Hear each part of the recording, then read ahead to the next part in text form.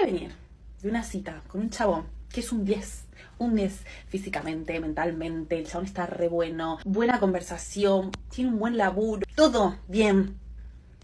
Ahora vos me preguntas si yo me siento atraída sexualmente, o sea, pues yo lo veo y digo que el chabón está buenísimo, ¿eh? Pero vos me decís, yo me siento atraída sexualmente a él, no, nada, como que, le, como que lo tendría de amigo.